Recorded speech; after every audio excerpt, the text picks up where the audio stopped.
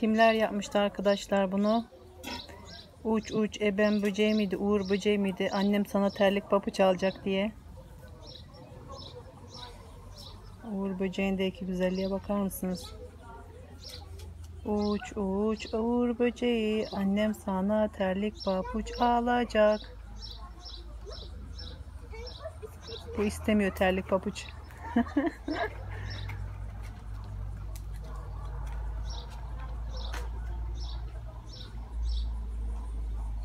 Ayrılamıyor benden.